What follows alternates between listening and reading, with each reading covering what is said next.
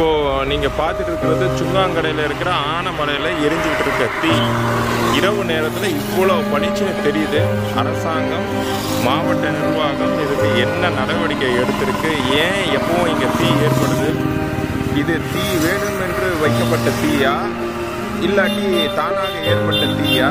இதற்கு என்ன நடவடிக்கை மாவட்ட நிர்வாகம் எடுத்திருக்கு? ஏன் இது போன்ற அசம்பாவிதம் நடக்குது? இதுக்கு மாவட்ட நிர்வாகமும் அரசும் இதுக்கு கண்டிப்பாக அதிகாரிகளும் இதுக்கு பதில் சொல்லணும்.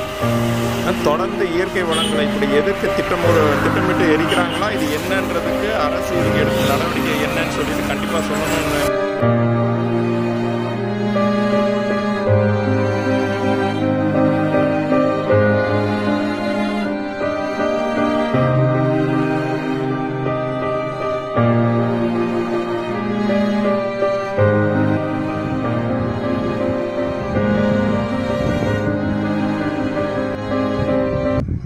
ஒரு கொஞ்சம் தெரியுதா? அப்புறம் இங்கே.